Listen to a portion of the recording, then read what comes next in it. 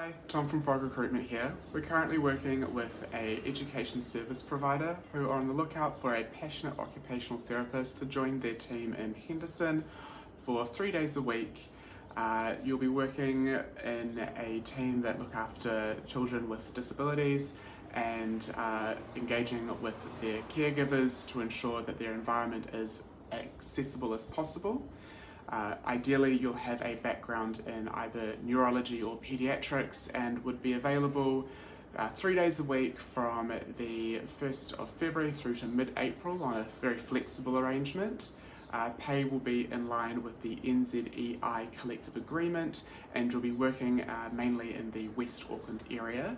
Uh, it's a fantastic opportunity to do uh, good work in that community and if it sounds like a role that you might be interested in, please do get in contact. My details are below. I look forward to hearing from you.